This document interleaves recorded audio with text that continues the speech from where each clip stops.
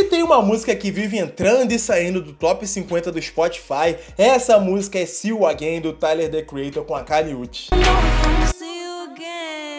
A música, a cada semana que passa, começa a ganhar o status de clássico do rap, do hip hop e até mesmo da música pop, por mais que ela tenha essa pegada mesmo. Ele é uma faixa fundamental para um quebra-cabeça sobre a vida e os sentimentos mais escondidos do mano Tyler, The Creator. Quando eu contar para vocês um pouco da história dessa faixa, vocês vão achar ela mais genial ainda. Mas antes de qualquer parada, fala galera, já são na área, se liga se você não for inscrito aqui nesse canal, por favor, meu irmão, se inscreve aí nesse botão vermelho que tá aqui embaixo, deixa o like aí antes do vídeo começar, ativa o sininho aí para você ficar ligado ligado nos meus vídeos. Ó, se você é artista e quer entrar na nossa playlist aqui, acessa o link que tá aqui na descrição, que a minha galera, nos próximos dias, vai te mandar um e-mail explicando tudo. E o pai aqui também é rapper. Dia 12 de julho eu vou lançar minha música chamada Aquele Speak. Então, bora lá pro vídeo, porque hoje a gente tem bastante história para contar. O ano era 2017 e o Tyler, The Creator, por mais que já fosse um produtor e rapper relativamente conhecido dentro da bolha, ele estava tendo alguns altos e baixos, uma leve instabilidade de imagem para ele mostrar quem ele realmente era fora, entre aspas, da Odd Future. Nessa época, alguns integrantes e ex-integrantes da Odd Future já tinham uma identidade artística, vamos dizer assim,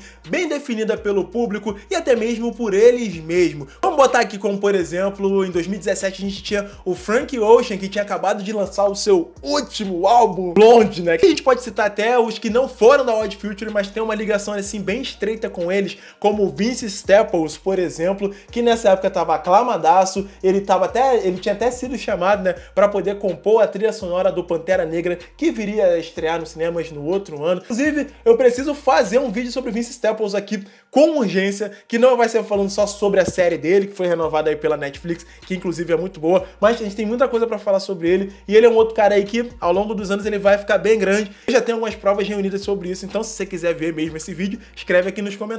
Mas voltando a falar do Tyler, o público tava dando uma criticada de leve... De leve não, né? Uma criticada violenta nele, porque dois anos antes, em 2015, ele tinha lançado seu álbum Cherry Bomb. Pra muitos foi realmente uma bomba. Pra mim nunca foi. Mas o problema é que nessa época do, do Cherry Bomb, nessa era do Cherry Bomb, o Tyler tava planejando várias paradas grandonas, tá ligado? Tipo, uma turnê que ia passar pela Europa, ia passar pela Ásia e os caramba. Mas infelizmente várias dessas pernas da turnê foram canceladas por alguns problemas de imagem que o Tyler tava tendo naquela época. É porque o povo tava com a mania de desenterrar, tava não, ainda tem essa mania até hoje, de desenterrar os tweets antigos das pessoas e até mesmo algumas entrevistas, como foi o caso do Tyler The Creator. E aí acharam várias paradas feiosas dele, tá ligado? Como declarações homofóbicas, machistas e o caramba. E alguns países, como a Austrália, por exemplo, proibiram a turnê do Tyler de passar por lá. E com essa imagem percorrendo pelo mundo e a reputação dele meio tchan, o Tyler resolveu se trancar no estúdio e falar de coisas completamente diferentes do que o Tyler mais jovem falava, tá ligado? Como, por exemplo, o amor. Então, papai, ele vai pro estúdio e começa a criar o seu álbum Flower Boy, ou Menino das Flores, né? Que é considerado, inclusive, um dos melhores álbuns aí da, de todos os tempos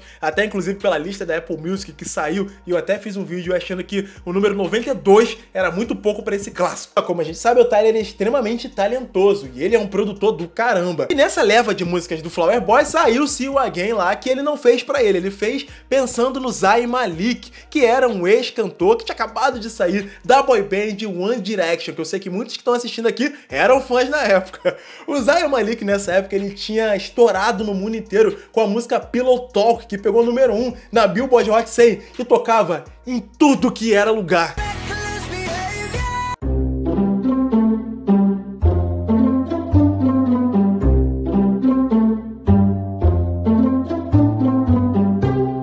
Próprio Tyler, The Creator, falou em uma publicação do Twitter, ele marcou a sessão de gravação com o Zayn Malik duas vezes e o cara faltou. Então ele ficou pistola da vida, pegou o Seal Again pra ele, gravou e falou, mano, eu vou botar essa música no meu álbum. A melhor coisa que ele fez. Quando o Flower Boy sai em junho de 2017, o álbum é extremamente aclamado, todo mundo gostou pra caramba. E por mais que o Tyler, The Creator, não estava acreditando tanto em Seal Again naquela época, porque eu me lembro que a música foi o quarto single, demorou pra caramba, por mais que, pô, os fãs estavam falando, mano, lança essa música, cara, bota essa música pra rodo. Ele deu uma demorada pra lançar a música assim. Se foi uma estratégia de marketing, ou da gravadora, ou do próprio Tyler, The Creator, a gente nunca vai saber. Eu sei que, realmente, ele lançou a música como single, lançou o clipe, a música sequer charteou na Billboard Hot 100, a música passou longe de lá, porém foi uma fan favorite, ou seja, uma que os fãs gostam muito. E os fãs não iam deixar essa música morrer nem tão cedo. Conforme iam passando os meses, e até mesmo os anos, né, 2017, 2018, 2019, 20, a música só cresceu. E ela é conhecida por aí como um slippery hit, que é tipo uma música tipo adormecida, tá ligado? Que ela foi crescendo ao,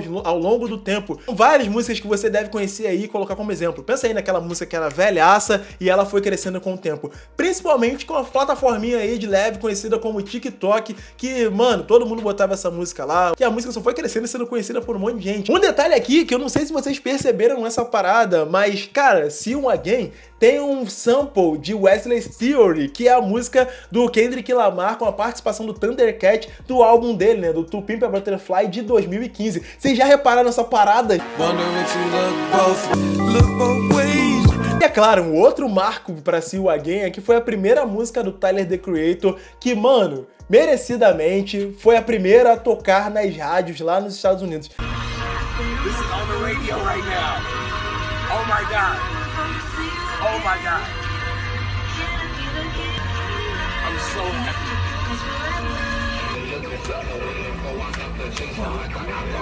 I've never eu acho que ele tem tanta música boa antes e depois de See Again que, mano, todas as músicas do cara tinham que tocar na rádio. Até então, pelo que eu me lembre, nessa época de 2017, não tinha uma discussão tão aberta na internet e fora dela sobre a sexualidade do Tyler, The Creator. Pelo menos eu, eu não lembro real, tá ligado? Mas eu acho que não tinha. Mas quando ele lançou See Again no Flower Boy, começou a se gerar essa fofoca. Muito porque a faixa Sometimes, que é a que vem antes de See Again, dentro do álbum Flower Boy, tem uma voz de um homem, cara, e o mano fala tipo umas paradas tipo assim: agora toca a música que fala sobre mim na rádio Golf. Aí começa a tocar meio que simultaneamente, rapidinho, blue, começa a tocar See Again. E como vocês sabem, See Again fala sobre sentimentos do Tyler the Creator, sobre um amor assim que praticamente para ele é impossível. E ele fala umas palavras profundas de um amor que não é alcançável, um amor inatingível, tá ligado? Que, cara, o amor é tão doido que ele só vai conseguir amar essa pessoa nos sonhos dele. E aí a teoria dos fãs fica mais forte quando quando você desce um pouco no álbum e você a faixa Ain't Got Time, no qual Tyler, The Creator, fala que ele tem beijado garotos brancos desde 2004. Essa frase aí ficou bem conhecida na época, um monte de gente ficou falando sobre, e aí foi que começou-se a falar sobre essas questões da sexualidade do Tyler, The Creator. Isso fica bem mais fortificado na parte que a Kylie Uchis canta, tá ligado? Ela fala sobre sonhos e ela fala também sobre essa questão da guerra, né? Na verdade, o Tyler, The Creator tá travando uma guerra com os seus próprios sentimentos. E o próprio clipe mostra isso, né? Ele lá no navio de guerra lá, com outros soldados e tal. Na maior estética mesmo, soldados indo pra guerra. Mas enfim, pra gente não interessa quem o Tyler tá beijando, quem ele deixou de beijar, enfim, a gente sabe que See You Again foi e sempre será um clássico. Como eu falei pra vocês, galera, See You Again é um slippery hit, é uma música que só tá crescendo ao longo dos anos, que não tá nem mais dormindo, mano. A música já tá bem acordada. Mas a parte mais legal é que bom que o público acordou e percebeu que essa música é realmente boa pra caraca e que Tyler, The Creator, é um gênio. Mas fala aí nos comentários, pessoal. O que, que você tava fazendo quando o seu alguém foi lançado? Qual foi a primeira vez que você escutou? Comenta tudo aí abaixo, rapaz. De mais a mais, um abração do Gerson. Até o próximo vídeo e valeu!